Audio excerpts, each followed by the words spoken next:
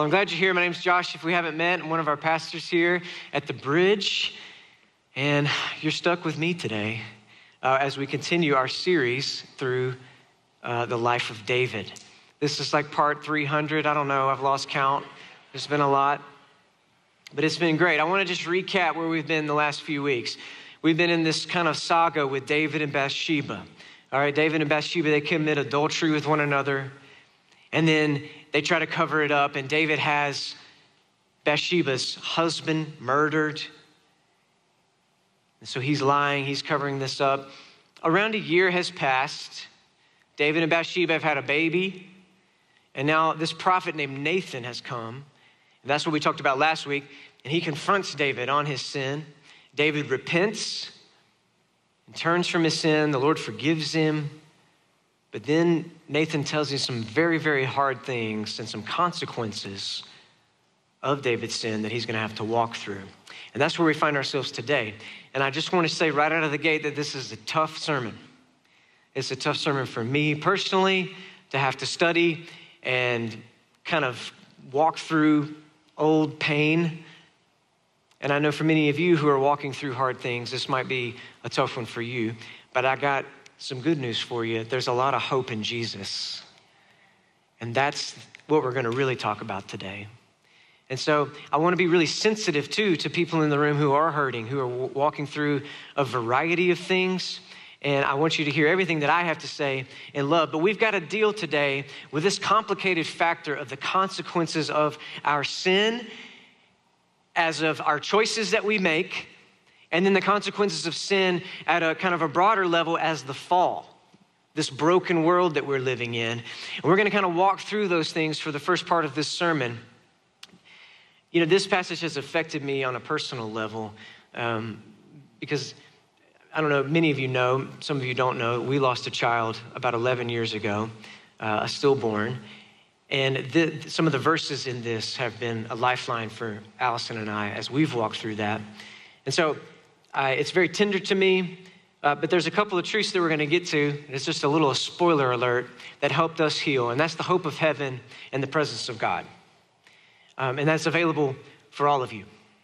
So we're going to navigate through these things, the consequences of sin. I want to put a statement on the, on the screen that kind of just sets the tone for what we're kind of going to be talking about.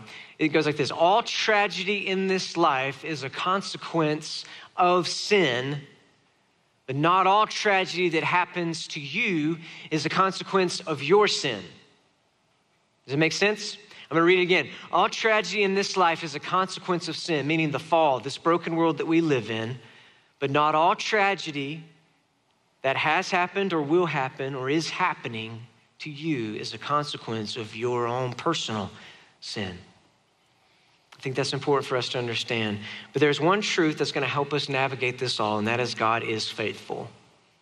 He is faithful. Even when we don't understand, He is faithful. All right? Here we go. Let's stand together. We're going to read this passage together. We're going to focus on 13 through 18 right now, 2 Samuel chapter 12. It'll be on the screen if you don't have your Bible or phone. And look, my prayer today ultimately is that God's going to give you a little breath back in your lungs. You're coming in here dry and weary, if you're walking through something hard, that you'll leave here feeling a little bit encouraged and a little bit of hope today. All right? Let's read this. Verse 13 David responded to Nathan, I have sinned against the Lord. Then Nathan replied to David, And the Lord has taken away your sin. You will not die. Verse 14, however, because you treated the Lord with such contempt in this matter, the son borne to you will die. Then Nathan went home. The Lord struck the baby that Uriah's wife had born to David, and he became deathly ill. David pleaded with God for the boy. He fasted, went home, and spent the night lying on the ground. The elders of his house stood beside him to get him up from the ground, but he was unwilling and would not eat anything from with them. Verse 18 On the seventh day, the baby died. But David's servants were afraid to tell him the baby was dead. They said, Look, while the baby was alive, we spoke to him and he wouldn't listen to us. So, how can we tell him the baby is dead? He may do something desperate. Let's pray. Our sovereign Lord, we thank you for your love and your mercy for us.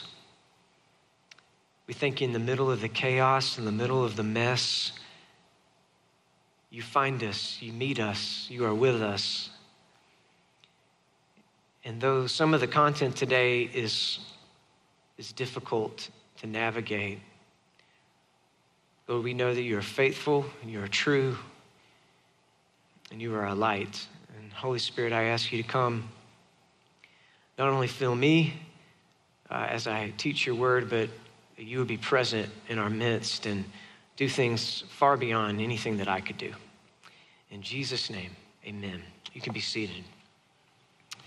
All right, so let me set the scene here for us a little bit. We've got David. He's heard the news. His baby is sick. The baby has died, or he's going to die. And David is laying on the ground in absolute, desperate, he's devastated, and he's pleading with God to save the baby. And he's fasting and he's praying. The servants and elders of his house are there, and they, they can't get him to really do anything. And it's just sad. Just sadness is there. Forget the consequences for a moment.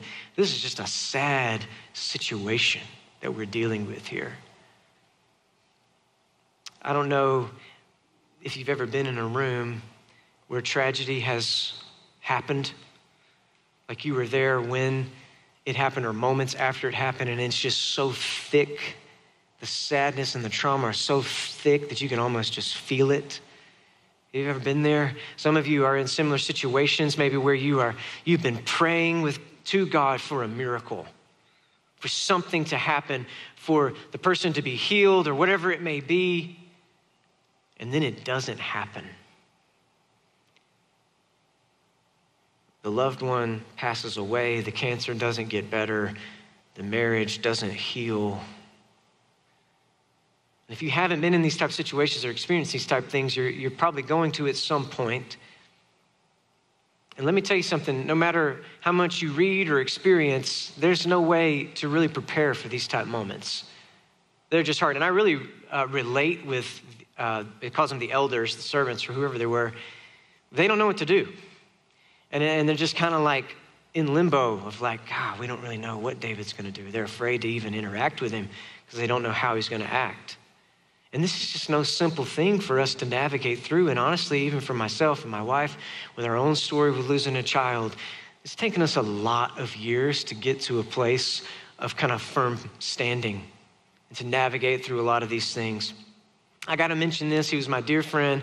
Yesterday was the three year anniversary uh, that my friend Josh Simmons uh, went to be with the Lord. He was in our worship team for over 10 years. He played electric guitar. He was one of my greatest friends, our resident rascal, and um, just an amazing person and an unbelievably gifted musician. He died of complications of COVID, and that just didn't make sense. We prayed and we pleaded and we asked God to, to heal him, to let him live. And then we had to walk through his death. And that just was hard. It didn't make sense. It was hard to navigate. It didn't make sense. It still doesn't make sense. But the other side of this coin, in context of this passage, we've got something else to deal with because David is part of this is his consequences for his sin. And God's allowing him to walk through this as a consequence. Verse 14, however, because you treated the Lord with such contempt in this matter, the son born to you will die. I know some of you are walking through suffering right now because of the consequences of your sin, or maybe you know people who are. And you understand right where David is I have several friends in this room and outside of this room who are recovering addicts, and God's just done amazing things in their lives of transformation and healing and restoration. But they are still living in the consequences of their choices. And sometimes that's medical, sometimes that's family, broken relationships that take a long time to regain health there. Sometimes it's a lack of trust. When trust is broken, that can be so hard to rebuild. And I know there's some of you in the room who there has been sin done to you, and you're living in the consequences of that. And I've seen so many fall into patterns over the years that have led them into a hole that is just very, very difficult to get out of. Especially when you think about if there's crime involved. It can be very hard. Even if they've been saved and redeemed and are living for Jesus, it can be very hard to get out of that hole. Here's some more hope for you today. If you are here today, there is so much hope, whether you are suffering as a direct consequence of your bad choices, like David, or just because we are living in a broken world where bad things happen that we don't have any control over. We've got to understand this. This is the first principle God is faithful to forgive, but sin has consequences. He's faithful to forgive, but sin has consequences. I don't want us to forget that David has been forgiven. He has been restored. He gets to live. But these consequences, they are in motion. Now, when I think about sin at a, at a broad level and a personal level, there's a, because of sin, we have to, there's some things that happen. The first thing that, that happens is there's separation from God. Now, this is contrary to our design. We were not designed to be separate from God. We are designed to be with God. We, we see this right at the beginning of the Bible in Genesis. God creates the man and the woman to dwell with him in the garden, to experience life with him, to live with him. But then they are deceived by the serpent, who we know to be Satan. They eat of the fruit, and sin from that moment enters the picture. And it has been affecting everyone and everything ever since then. And there is separation from God in that moment. Romans 3:23 says this, for all have sinned and fall short of the glory of God.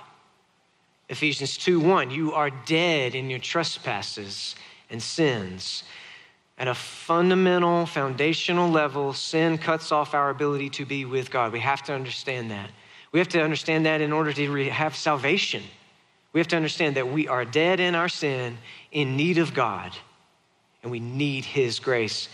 We need the cross for believers in the room, I think it's very important for you to understand that there is no separation for you. You cannot be separated from the love of God. There's nothing that can pluck you out of His hand, that can take you from Him. But sin can get in the way. Sin can cause, and I use the word carefully to say separation, but it can make it feel like there's some separation there. There's a disconnect with Him when sin has entered the picture. I was thinking about this. We just came through 21 days of prayer. And to be quite honest, it's a, it's a challenging time for our staff. It's just a grueling schedule for us, and it, it affects home as well. And Allison and I, kind of towards the last week, we just gotten out of sync. And we weren't communicating like we should be, and there was just a lot of like kind of tension in the house. You know what I'm talking about. And it wasn't until we sat down on the back porch one morning and had a cup of coffee together and just kind of cleared the air and kind of worked through some things that we were able to kind of regain our, our connection. And I was still married to her that whole time, but there was a separation at play. It felt like God, we just weren't, weren't jiving. Separation from God. The second thing, our sin is never just affecting us. And this is where he loves, the enemy loves to get us. He loves to lie to us with this and, and say, No one will ever know. Just go ahead. This will just be us. This is going to be a private matter. You just, nobody's going to know. And meanwhile, you could be creating an addiction that could affect generations to come. The choice could affect generations to come. You've heard the saying, your sins will find you out. Uh, that comes from Numbers 32 23. It says, But if you don't do this, you will certainly sin against the Lord. Be sure your sin will catch up with you. And this is certainly the case for David. Nathan tells him that the sword is never going to leave his house. He's going to lose the baby. This is not going to be the only child that he loses. And chaos, conspiracy, and lies are going to run through David's kingdom for the rest of his life. Our sin is always affecting others. And the last thing that sin does is there's, it, there is a debt that has to be paid. There's a debt that has to be paid. The penalty for sin is death. Romans 6:23 says, "For the wages of sin is death." The sacrifice had to be made. The animal had to be sacrificed. Jesus had to die on the cross. And the consequences of sin are very, very real. And I think it's good to note that David should have died. He should have been killed for this crime, punished for this crime. And I'm sure he would have gladly died instead of his son.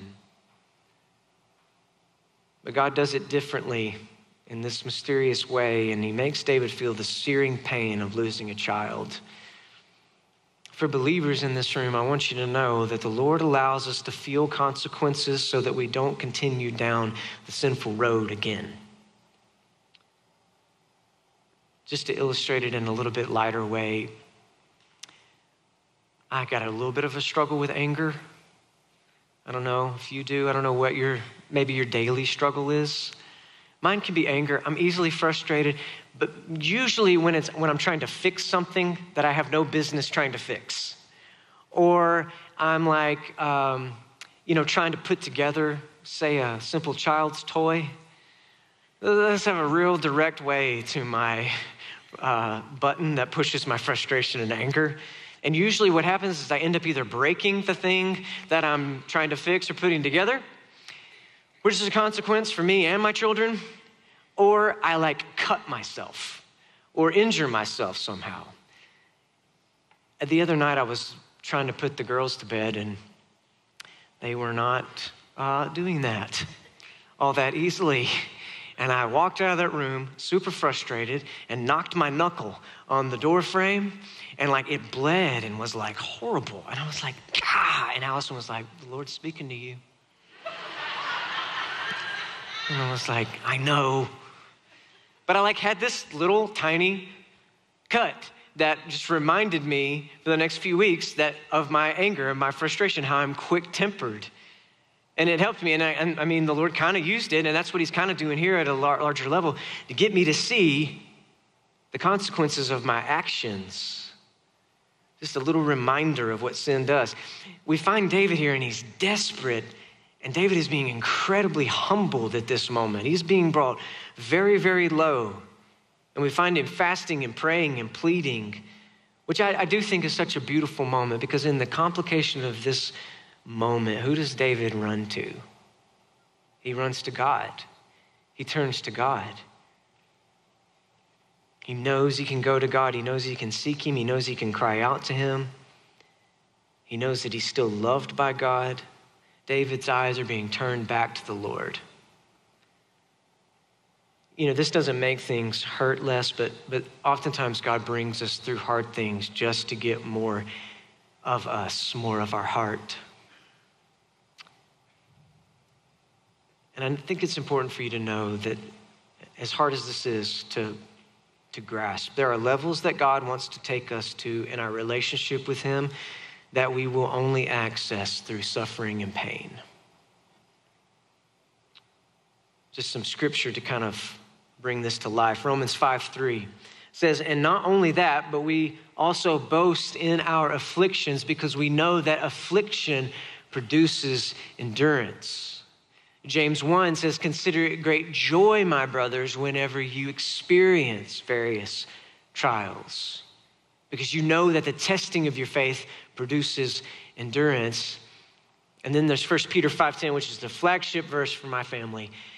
It says, "And after you have suffered a little while, the God of all grace, who has called you to his eternal glory in Christ, will himself restore, confirm, strengthen, and establish you." I recently started running, and uh, about eight weeks ago, was just like, you know what? I'm going to start. I'm going to start running. I've been to visit my family, and my brother. He's running a marathon coming up, and kind of inspired me to like run. And then he showed me this awesome YouTube video, and then I was like, I gotta run. And so I put on my my very poor quality shoes, and I went for a run. And I'm, I was just hoping to maybe make it a mile without stopping, which I did. But I'd like to show you a picture of, of me, just moments after. I don't know if you can tell, but this is the face of a man who's about to die. And I thought, I better just grab a quick pic. I sent it to my brother. Just wanted you to be able to remember me. This was right before I collapsed on the side of the road. But I'm thinking about endurance, right? I'm thinking about going through hard things and that building endurance. In that moment, I did not have a lot of endurance, but from that moment, that really hard moment, I've been building endurance since then. And each time I've gone out to run, I've gotten a little bit stronger and a little bit better. But then each new mile that I hit, it's, it's hard. I got to push to get there. And then there's this reward when it's done. It's just like, ah, we did it.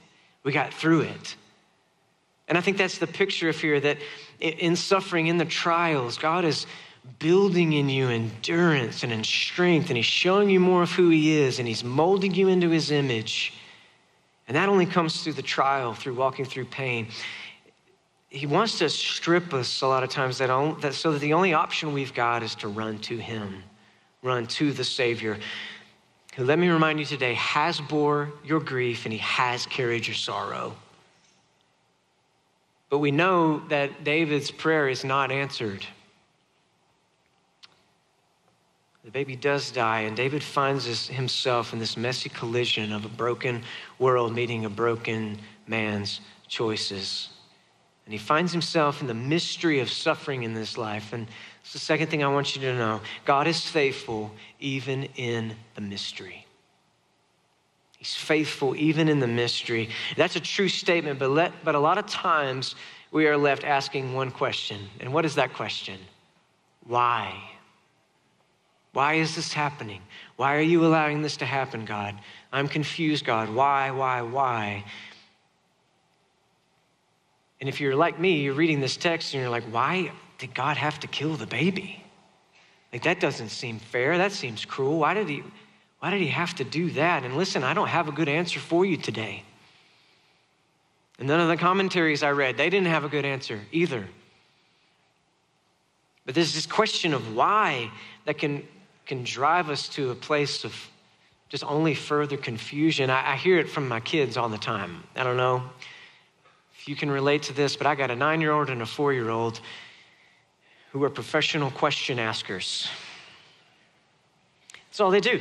They just, we got to put, my nine year old Hadley, she's like, we have to put her on these like breaks of like, okay, no more questions. And then I'll hear like squirming in the back seat of the car. It always happens in the car. And I'm like, what's going on? She's like, well, I'm trying not to, I'm trying to ask this not in a question.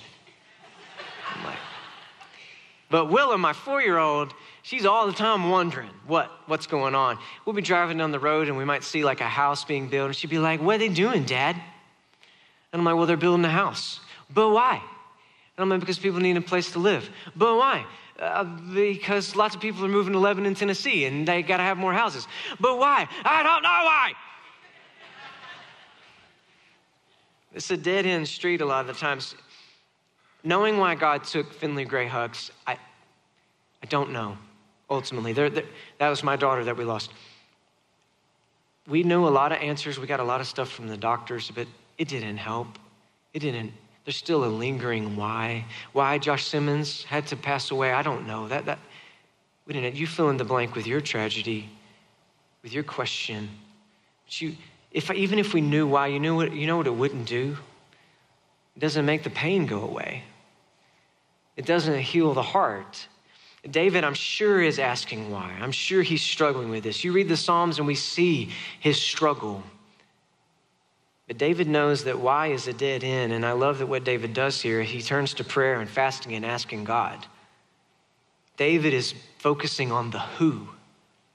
I think that this is so, so crucial. We will never understand the mysteries of God and why he allows bad things to happen to people but the powerful truth for us today is to stop focusing so much on the why and choose to trust the one who loves you more than you could ever imagine, who is near you in your pain, who cares about your sorrow. Though complicated, God will take us to the end of ourselves so that we can truly see Him for who He is and find out just how much He loves us. I love this quote from Warren Wiersbe. He's a commentator and theologian. He's got two great commentaries I'd recommend on the Old and New Testament. And this is what he says in regards to this very passage. And this just says it all so beautifully. There are no easy answers to settle our minds, but there are plenty of dependable promises to heal our hearts. And faith is nurtured on promises, not explanations. Faith is nurtured on promises, not explanations. There has to be a point where we choose to believe the promise, okay? Where the promise moves from head to heart. And the promise is this that we are loved by God, He is gracious to us, even in the trial, even if we have brought it on ourselves. He is still gracious, He's still loving, and still wants us to take you deeper to a deeper understanding of who He is. And let me say this if you're in the middle of it right now, if you're living in the consequences of your sin right now, your story is not over. Jesus has a plan for you, and His grace is enough for you. And if you're in the middle of a tragedy right now, and it is hard to see hope, His grace is enough for you, and your story is not over. That's some good news for us. Y'all alive out there? Everybody okay? Okay. We're going to shift to some better news. Is that all right with y'all? We're going to look at David's response. He responds in an amazing way. Verse 20 says this Then David got up from the ground. I want to remind you, he's been on the ground, weeping, sad, praying, fasting. No one can get him up. And he hears that the baby has died. And he gets up from the ground, and this is what he does. He washed, anointed himself, changed his clothes, went to the Lord's house, and worshiped. And then he went home and requested something to eat, so they served him food, and he ate. David lost his way. Just like we lose our way, but you see, there was a lifeline that drew him back to the heart of God. And it was being in the presence of God, it was worship and prayer and fasting. See, spending time in the presence of God was a deep part of David's life. It was cultivated over years of time. And even in a situation as complicated as this, David remembered God is faithful and his presence is our guide. God is faithful, and his presence is our guide. I want to illustrate this way. In older times, farmers in the Midwest, okay, when uh, it was called the whiteout, in the winter when the blizzards would hit and the snow would hit, they still had work to be done. They still had to feed their animals, they still had to take care of the farm. And what they would do is they would tie a rope from the back door of their house all the way out to the barn. And they would clutch that rope as their guide and they would pull themselves through the snow and through the wind and through the howling sound. They couldn't see, but they would hold that rope and they knew that rope was going to take them to the barn so they could take care of their animals. And then that rope would take them back home. There is, a, I want you to understand, there's a compound effect that happens in us when we cultivate the presence of God in our lives. Years of being in the Word, spending time in His presence by cultivating the relationship. My friends, when the bottom drops out in your life, you're going to have something to hold on to. You're going to have something to grasp. And better yet, you're going to realize that He's the one holding on to you. And He's been there all along, ready to guide you right back home. We talk about this a lot of spending time with God, reading your Bible, praying, journaling. I mean, it's probably the most repeated thing here, other than Jesus died for our sins. But I don't want you to fall into the trap of thinking this is just a checklist that we want you to do. This is so much more than a checklist. This is communing with God. This is being with God. This is interacting with God. We are spending time in His presence. Reading your Bible doesn't get you to God, He is already here, He's already with you. And we are interacting with Him. And when we put ourselves in a posture to hear from Him, to open the Word, to pray, to worship, we're putting ourselves in a posture to hear from Him and when all we're doing when we're doing that is we're just tying off rope, we're tying off security, something to hold on to that's going to pull us back when the hard times come. We are interacting with Him. And some of you are like, well, I don't feel Him a lot of times. I don't feel God. And I think sometimes God takes us through sort of dry periods where we might not be hearing like as fresh as we once were. But I'm reminded of Isaiah. He says, Those who wait on the Lord renew their strength. But a lot of times when I hear this question, I, and I start asking questions back, well, like, okay, well, tell me what you're doing in the Word. Like, are you reading the Bible? Are you spending any time in Scripture? Are you praying? And they're like, well, no, not really. How can we expect to hear from God if we are never being with Him? Consistency is key here. And that's where I think a daily habit has to be built, it has to be cultivated. You know, just like in running, I'm eight weeks in, and it's just been mile by mile, little by little, of getting up and going out for a run. And over time, that consistency is building. And now I'm kind of become some crazy person where I'm like, I can't wait to go for a run. The same is true with the word. And I just want to encourage you to sometimes we put so much pressure on ourselves that we got to have a quiet time. Just start with one day. Just read your Bible and pray for one day a week and see what God will do in your life. And what's going to happen is He's going to start building a habit in you, and you're going to start wanting to do two days, and three days, and four days, and five days. And then you might even be having quiet times on Sunday. You'll Be reading your Bible and coming to church. You'll really be in business then. But it's that consistency that builds the relationship. It's about learning to be with God. My final thought for us today is this God is faithful and heaven is our home. God is faithful and heaven is our home. Verse 21 His servants asked him, Why have you done this? While the baby was alive, you fasted and wept, but when he died, you got up and ate food. And he answered, While the baby was alive, this is David talking, I fasted and wept because I thought, Who knows, the Lord may be gracious to me and let him live. But now that he is dead, why should I fast? Can I bring him back again? And don't miss this last line I'll go to him, but he will never return to me. I will go to him, but he will never return to me. Death is the end here on earth. And David knew that. David knew there was no coming back from this moment. But David knew a couple of very important things. One, he knew where he was going. And secondly, he knew where his baby was. And his baby was with the Lord. And I just want to stop and say just a word of encouragement to moms and dads in the rooms who have faced miscarriages, either past, present, or maybe you will. I believe your baby is in the arms of Jesus. And I believe that this verse gives a little light and a little hope for us that when children die who cannot make an active choice to trust Jesus, God in His grace keeps them. He has them, and they are with Him in His presence.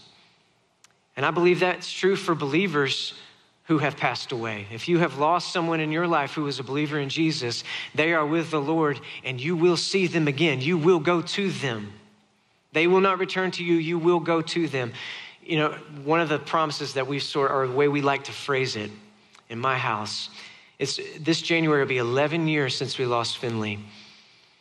I'm not 11 years from her, I'm 11 years closer to her. And every day that passes, you are closer to that reunion. You are closer to heaven. And that's a beautiful truth to end this complicated story, this tragic story. There is a hope for heaven. There is a hope that we have in his presence. And as I close, I love this because for me, this text really proves that David has, is a man after God's own heart. I mean, he really is. To experience such tragedy, to such sadness, such suffering, and to still turn to God, to still know that he can count on God, to still trust God in this moment. That's the kind of person that I want to be. It's the kind of person that I want you to be. It's the kind of person that I want our church to be.